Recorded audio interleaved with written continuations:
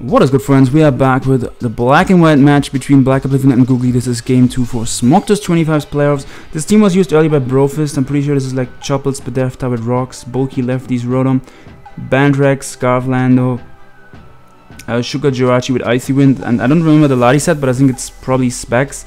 So here turn 1, he could just go for Will-O-Wisp, uh, burn the Ferrothorn. Googly could get up a Spike or switch up, switch into Reuni if he doesn't want to get burned, but I assume he's just gonna get up a Spike.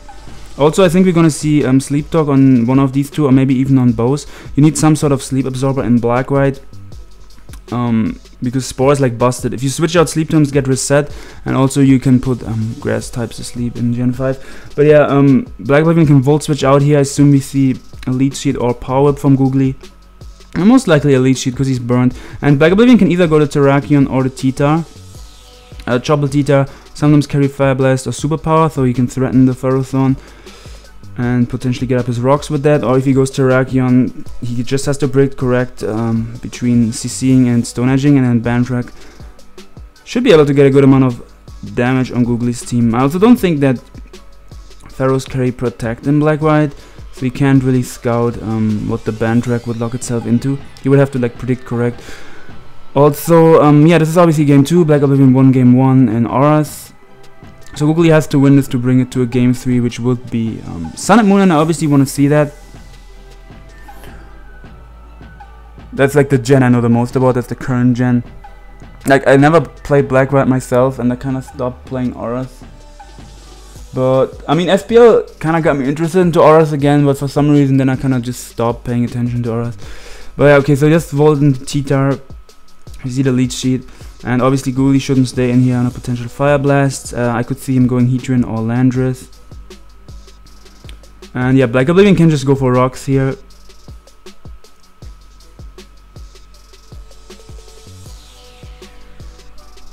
I mean, rocks is just a play that gets you something out of the turn guaranteed, no matter if your opponent stays in or switches. Like the burned Ferro is not going to be able to do that much to the T-Tar. So Trenalander should come out for sure.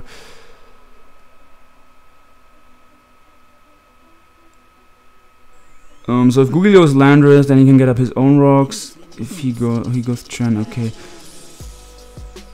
So if Bio has superpower, he can um, go for that. If he doesn't have superpower, I assume we're gonna see a switch into Rotom.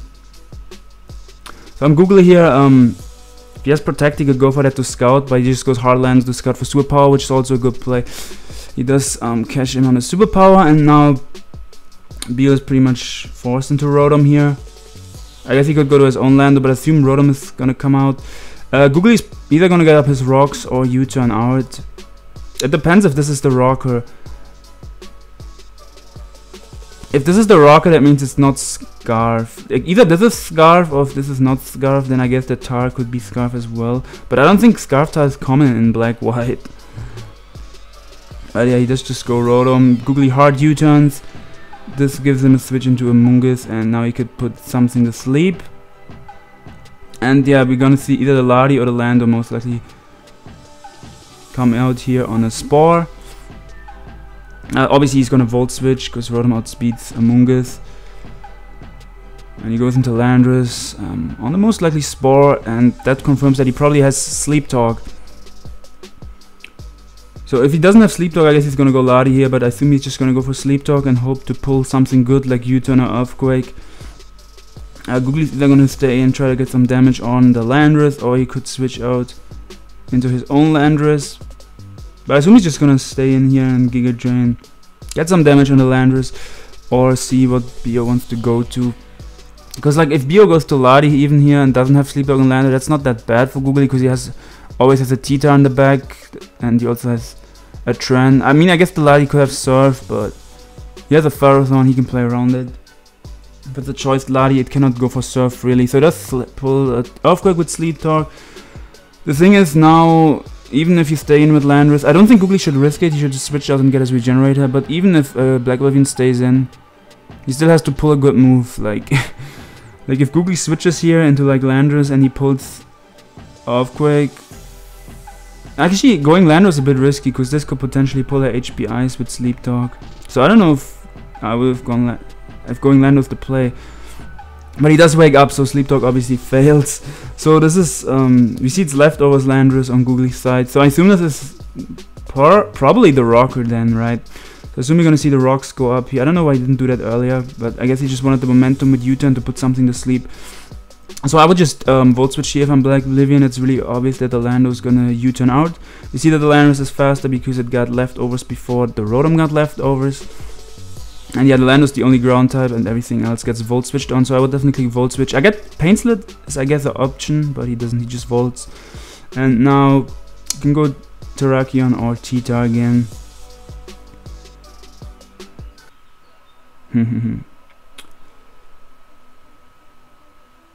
I assume Terrakion comes out this time. Um, he should superpower on T-Tar, but I don't know if he also has Fire Blast.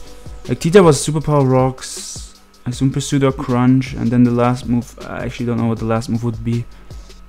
Oh yeah, Terrakion comes out and has to take a spike on the rocks, uh, chip damage, and now it's between Stone Edge and close combat. It's kind of like a 50-50 here. Mm, I mean, the thing is, does Googly need this Ferrothorn? Because he also has Amoonguss for Rotom. He doesn't necessarily need this. Um, so I could see Googly staying in here. The um, if he predicts a CC, then like if Amoonguss is um, I think with rocks up, Amoonguss is at 60 or something. So Amoonguss doesn't want to come out here because it would get destroyed by Stone Edge. So I don't think he's gonna go Amoonguss. So he does stay in. Um, not sure if he was willing to sack it or if he breaks that edge, but Googly gets the play correct there. And now Stone Edge doesn't even 2-hit KO, so Googly is probably just gonna Gyro Ball again. His last move might be Power Whip, or he um, just doesn't want to risk missing, that's why he Gyro Also, Gyro might be stronger than Power Whip, or like around the same power as Terrakion, because Terrakion is um, relatively fast, and obviously um, Ferrothorn is slow as piss. but yeah, Bio can't really switch into this because with rocks up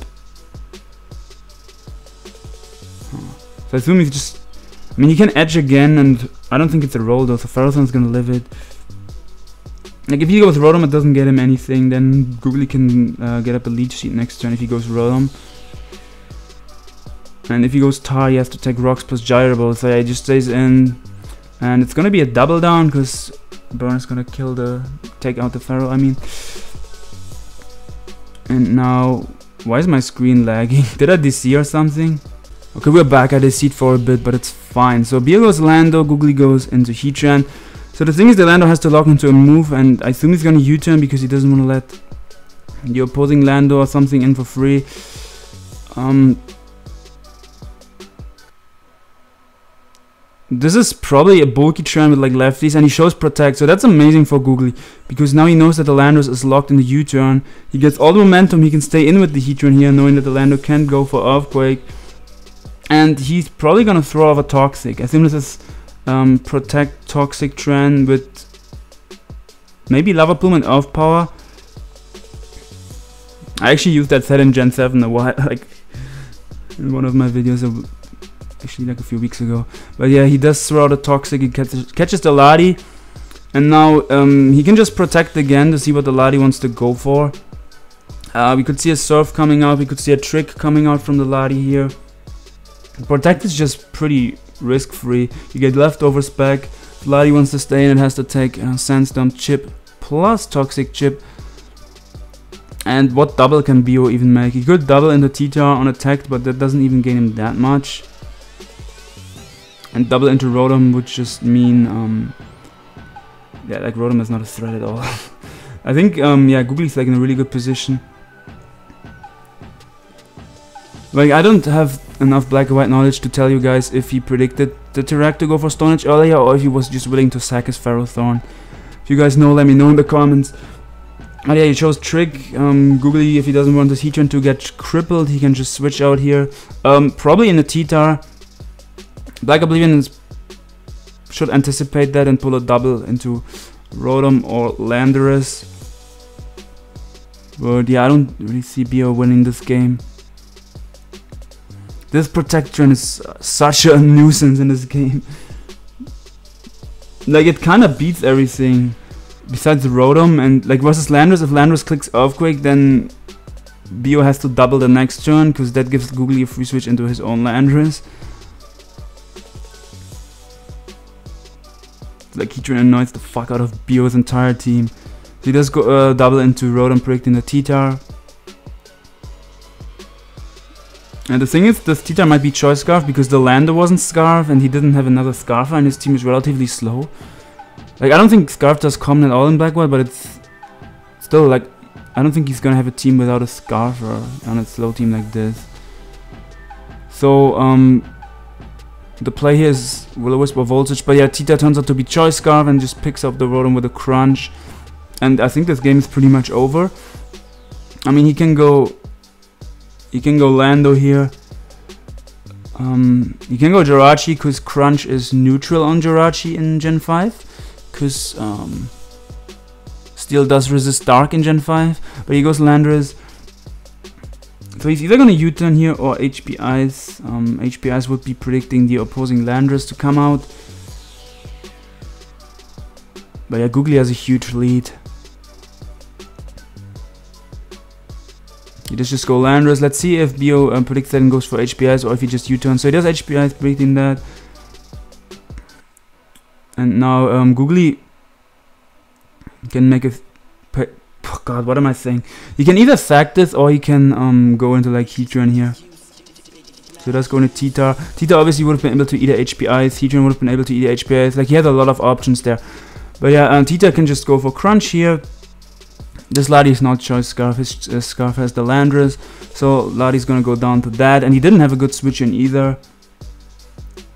So now Landorus or Jirachi, yeah Jirachi comes out, and this Jirachi is like Icy Wind, um, so he's gonna have to try to hex this with with a Thunder, so he's trying to get a Para, he doesn't get it, and I think that's pretty much the end of the game.